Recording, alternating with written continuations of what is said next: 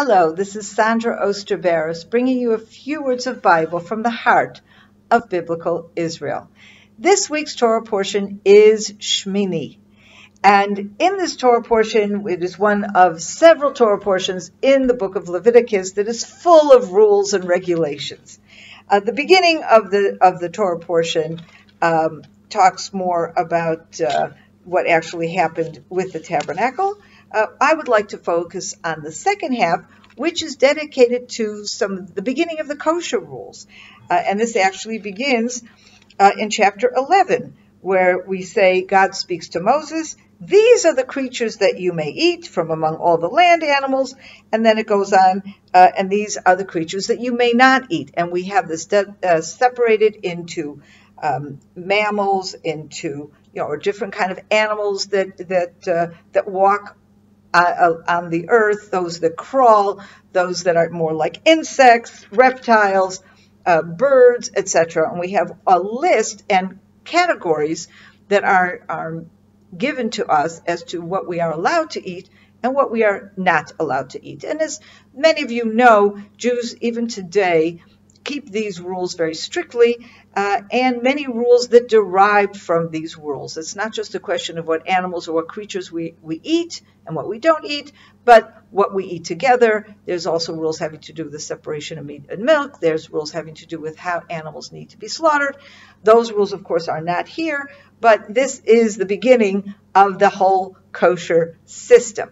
Now, at the end of this section, at the end of chapter 11, uh, we have verses 45 through 46 uh, gives us this uh, through 47 excuse me gives us a hint of what the meaning of all of this is now i would like to just um, say that many people have found meaning in some of the specific laws uh, finding that some of the animals that we are forbidden to eat are indeed not so healthy for us to eat.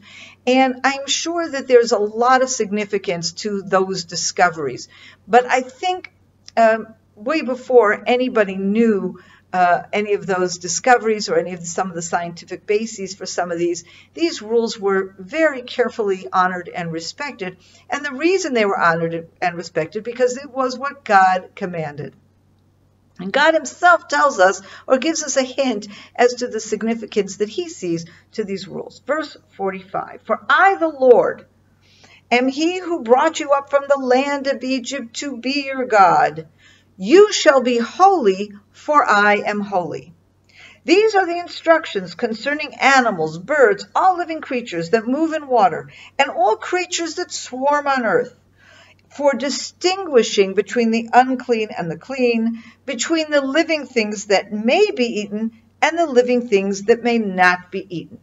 So if I look at these three verses, I basically find three themes. One is a reminder of the Exodus. I am the God who took you out of Egypt. For what purpose? To be for you a God. We have here setting the stage, and of course, these rules were given very shortly after the Exodus from Egypt to the generation who themselves left Egypt but the point of this is to say, I brought you out of Egypt so that you would be my people and I would be for you a God. So these rules are part of that very special relationship that God has established with the nation of Israel. They are particular to the nation of Israel. They are not universal.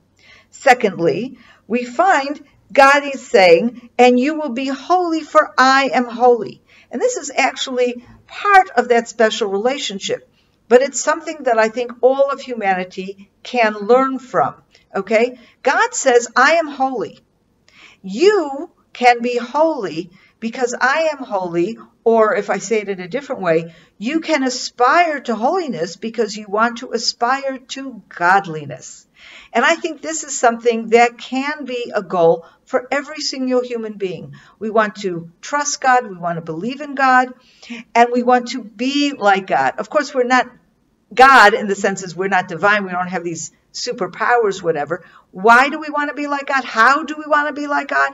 In this characteristic of holiness. We want to um, imitate God's attributes. We want to learn from God. And when God gives us instruction, we want to follow his instruction because in this way we can become holy. We can become close to God. We want to uh, imitate his attributes. And lastly, and this perhaps is most significant in a practical way when we talk about kosher rules in general, to distinguish between the impure and the pure, between that which we eat and that which we don't eat. The idea of distinction. Uh, and we know, for example, um, when we talk about the Sabbath, we distinguish between uh, the Sabbath day and the days that are not Sabbath. When we talk about creation, there's a distinction between light and dark, Drawing lines and making distinctions is something that we see in various parts of the Bible. And here I believe that the very fact of making the distinction is the essence of God's instruction. God is giving us do's and don'ts. These are the things you do, and these are the things you don't. Human beings have free will. Uh, and if we are, become slaves of our free will, we are as far from free as possible because we can do whatever we want. And therefore, we have no guidelines. We just do it. We do what, what comes to us. We do what, what we feel like doing. And then we become a slave of our inclinations. What God here is saying is no, no, no, no, no. You have a free will. You can choose but I'm going to set for you the guidelines by which you choose. This is what you choose, and this is what you reject. And it's the very act of distinction which is actually the, the the, the foundation for choosing. You have to first be able to distinguish between that is what is right and that was what is wrong, what is good, what is bad, what is pure and is impure, what is permitted and what is forbidden. Once you understand that distinction, then you have the power to choose and hopefully choose the right way. Now, part of this distinction, I would say, and, and what became a very important function of the kosher rules, is keeping the nation of Israel distinct and separate from the other nations. And this is particularly important um, at, at, a time of pagan worship. Uh, when the Jewish people come into the land of Israel and they they come into a land that is full of pagan worship, God instructs us over and over again. We see this particularly in the book of Deuteronomy.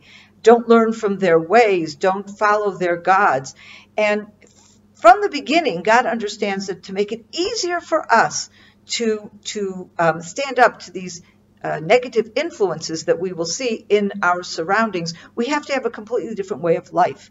And there's nothing like kosher to have created a different way of life. And even today, I know for myself as I travel around the world and I meet with people who are not Jewish, who do not know our rules, um, and I have wonderful, wonderful friends, and it doesn't set up a barrier between me and people in order to get to know one another. But it does remind me, as I keep my kosher rules, it does remind me all the time that I am different, that I have different laws, I have different regulations, I have a different destiny, and it is very much something that enables us as the Jewish people to keep ourselves distinct and separate.